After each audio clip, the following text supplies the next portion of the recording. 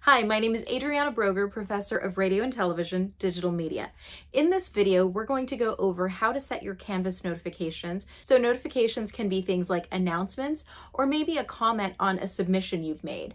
And you really want to make sure that you see these things right away so that if there's an issue, you can take care of that. Let's go into Canvas right now to show you how to set your notifications. So from accounts, you're going to be able to go into notifications and here you'll go ahead and see a number of different settings for you.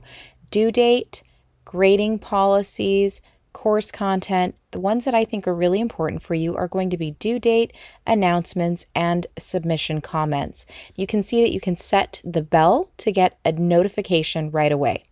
Okay, so we've just covered part A, which is setting that notification, but part B is where do you want those notifications sent to?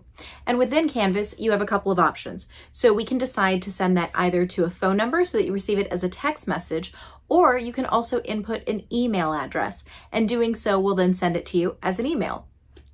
Okay, so to recap in this video, we went over how to set your Canvas notifications and also how to input where you want those notifications sent to.